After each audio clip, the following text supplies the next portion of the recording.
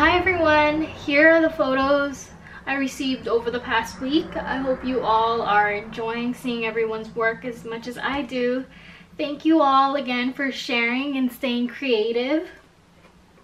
I'm going to put my email down at the bottom just so you know you can keep sending me these. I really do love seeing them.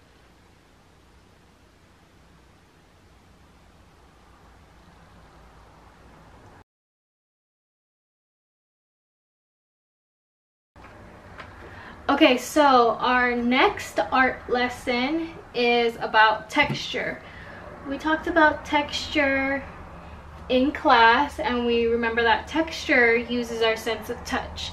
It refers to how an object feels and in art we use line, pattern, color, and shading to create the representation of texture.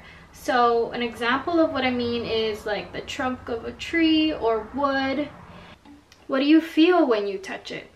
It's hard, kind of rough. It has some uneven textures. There's some bumps even. That's the texture you feel. Now, in art, we're going to be creating a representation of texture by drawing what wood looks like so you get the sense of what it feels like. So I'm going to do an example right here on my paper. If I start out as a, by drawing a cylinder, just like we learned how to do in our last lesson where we talked about form. So if I draw this cylinder, you assume it's smooth because there's no line to tell you what the texture is. It's straight. Now I'm going to add some lines.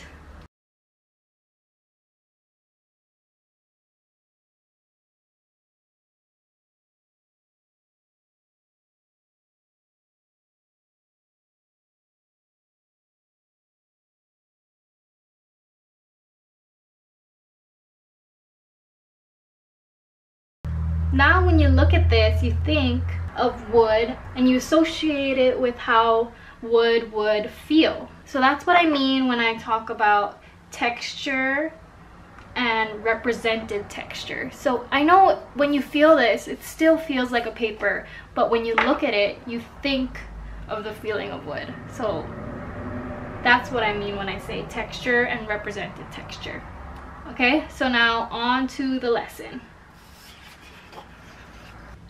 all you need is a paper a pencil and then we're to use some markers and crayons later. So you use your pencil so you can erase if you have any mistakes but I'm to use a marker just so you can see it better.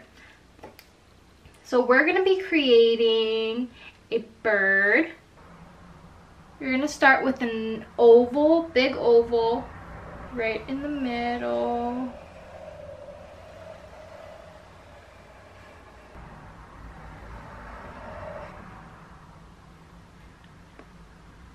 we're gonna add kind of like a teardrop shape on the side. So our bird is facing to the side, so here's its wing over here. So kind of like a teardrop shape. So if you're using pencil, work you can erase this later, this line right here, but I don't, I'm using a marker so you can see better. And then we're gonna do big eye right here. And then, so two circles. And then we're going to color this one in.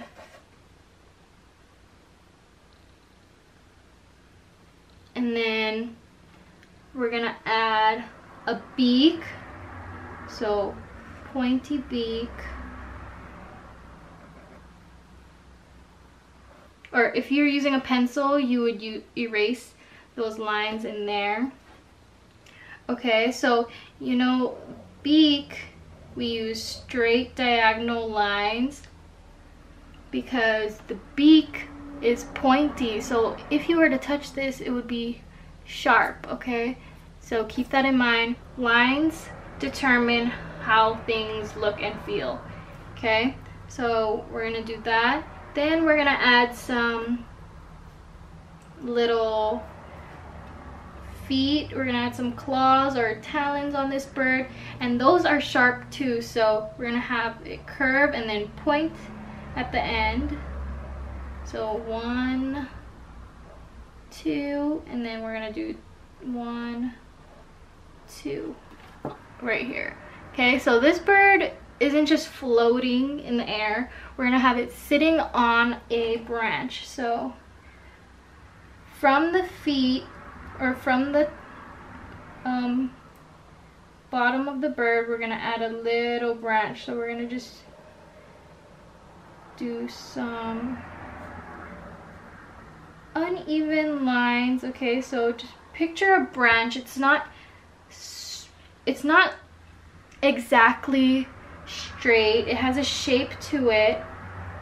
Okay, make sure you go all the way to the edge of your paper and then add some little other okay make sure it goes underneath so your bird is kind of like hanging on to this branch okay you see how I didn't go super straight it has some bend to it and it has more branches coming out. I can add another one here if I want. It's up to you.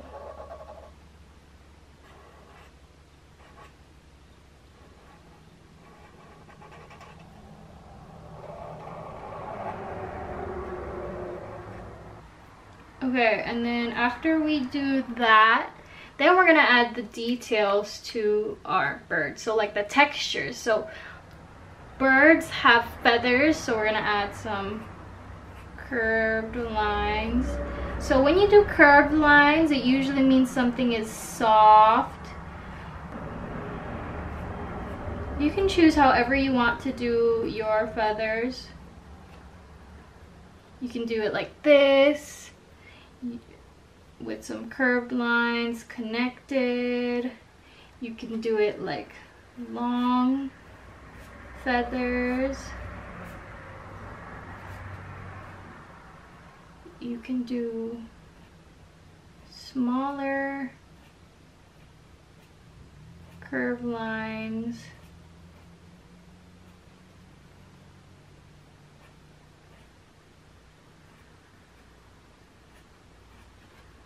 Or you can do some lines like this to show longer feathers. It's up to you. Or you can combine them all if you want. Okay, so after we add some feathers to the wings, we're gonna add more feathers over here on the body. And then I'm gonna add like a little belly here. Add some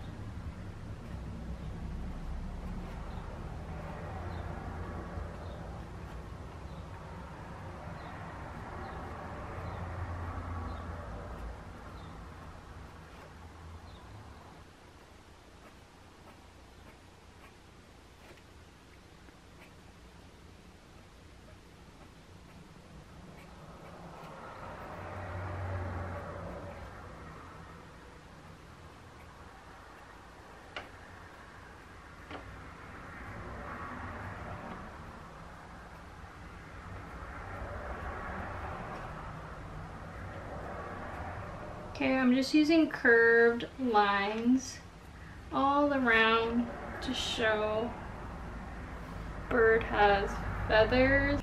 And then don't forget to add a tail. So the tail is behind this branch.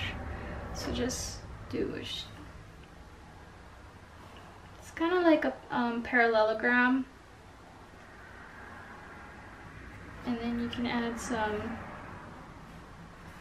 long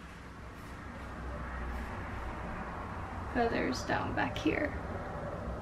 Okay, and then we're gonna add some texture to our branch. So just like I showed you guys in the example, just add some lines. Okay, give it texture. Show that this is a branch and not just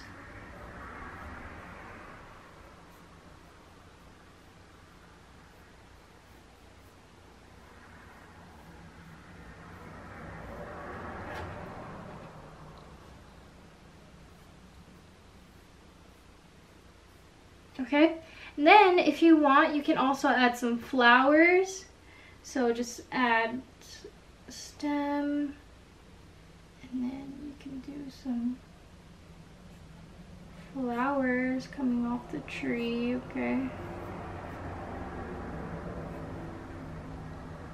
And you can even add some leaves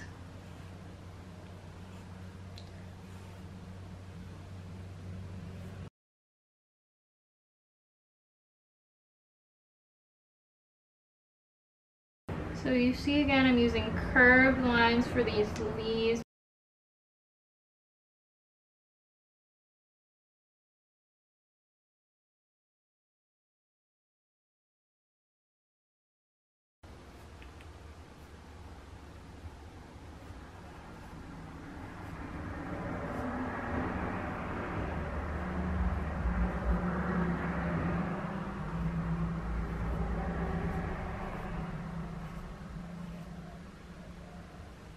Okay, you do whatever you want.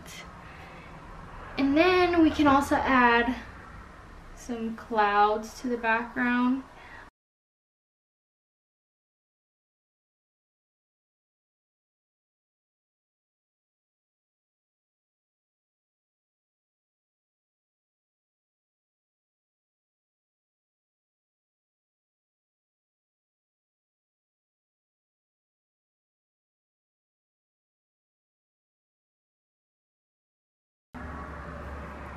So curved lines.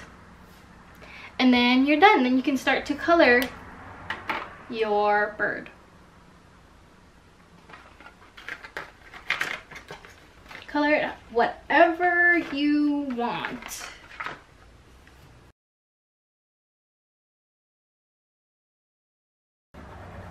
There are so many different types of birds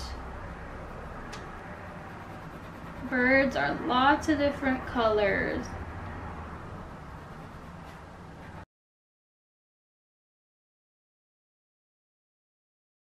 Remember how I taught you that if you have a broken crayon, use the side of it to color big areas. So you see here I have the sky has a lot of area to color. This would be a good time to use your broken crayons and go ahead and use the side of it. Lay it flat or lay it on its side and then you can use it to